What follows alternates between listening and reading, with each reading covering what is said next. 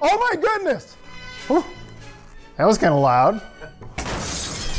Hey friends, Mikester here, your humble servant, with a weekly update from First United Methodist Church of Fort Worth.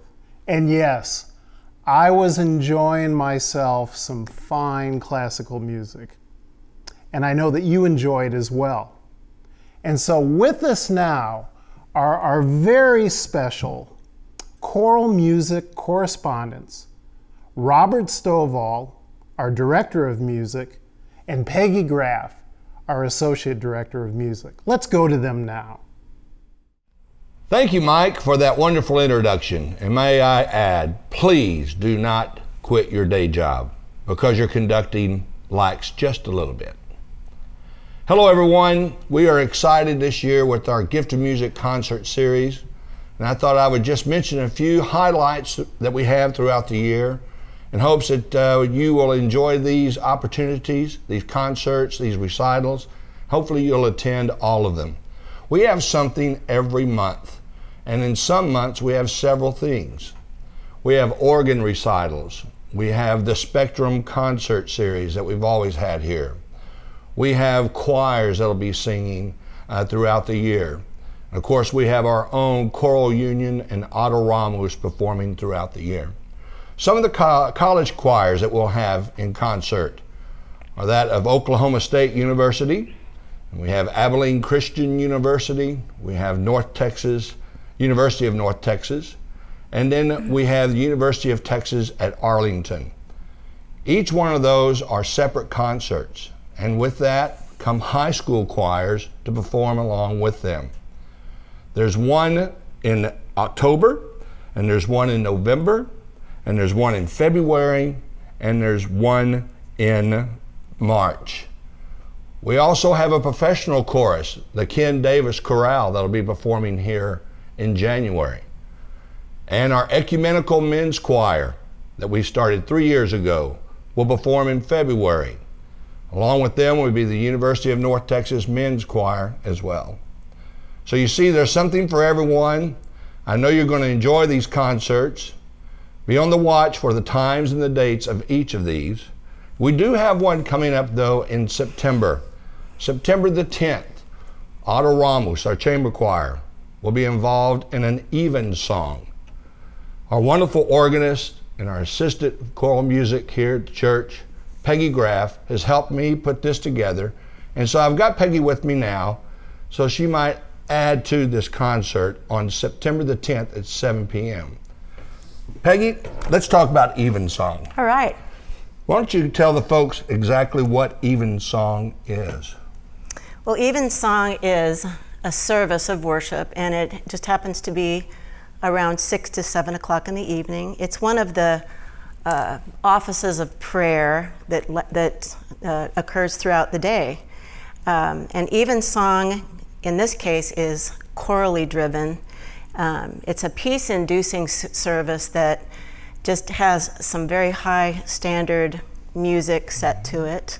Uh, there are preces and responses, which there is a cantor and the choir responds. Uh, there is a Magnificat and a Nunc Dimittis, which Adoramus is going to be singing mm-hmm. by Herbert Howells.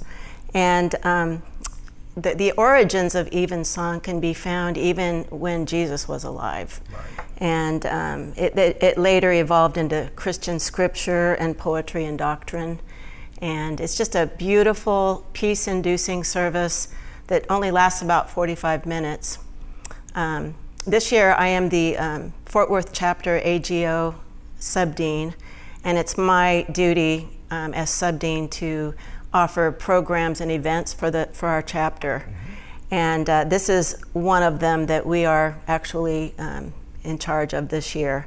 So uh, we wanted to include this wonderful music ministry that we have at our church, and and uh, also have our beautiful organ represented and um, I've invited Father uh, Raymond McDaniel. He's the pastor at St. Philip the Apostle Catholic Church in, in Lewisville, and his organist, um, Andrew Kenny, to, to serve during that mm-hmm. particular evening song. And so, with the two of them, with Adoramus and you directing them, and hopefully a lot of people in attendance, we're all going to really be coming together to enjoy this evening of um, choral music and Yes. scripture and just That's great. everything. Folks, I hope you have the opportunity to attend this on September the 10th at 7 p.m. in our sanctuary. It's going to be a beautiful service. And as Peggy said, we have wonderful music throughout the service, so please make your plans to attend. We're looking forward to the concert series this year. We hope you are as well. So now we'll go back to Mike. Robert, Peggy, thank you so much. It's exciting to know the things that are coming up in the concert series this year. It's also really good to specifically know about Evensong. I know that I'm looking forward to that, to being there, and I hope to see you there as well. And here's the other thing. A couple years ago, my wife uh, challenged me, invited me to sing with Choral Union. And it's been one of the neatest things that I've ever done. I am not a musician by nature, but I can tell you that every Wednesday evening, I enjoy so much the chance to learn from Robert and Peggy, the chance to be with 30 or 40 or 50 other people here in our church that are having fun together, laughing together, learning music, and all of us together praising God. It's one of the neat small groups in our church, and perhaps it's a group that you'd like to be a part of. And so I want to encourage you, whenever you wish, talk to Robert Stovall, talk to Peggy Graff, or even let me know and I'll pass it along to them. It really is a good time. Well, hopefully, in the midst of your Labor Day weekend, you are having a good time that involves relaxation, involves family and friends. And I also hope that you're able to take the time to recognize the fact that, that you and all of us have been given vocations by God. And my prayer for you is that our labors together will be fun, will be fruitful, and they will always be reminders that God blesses us to be blessings for others. Well, friends, I think that's all for today. And yes, this has been your moment with Mike.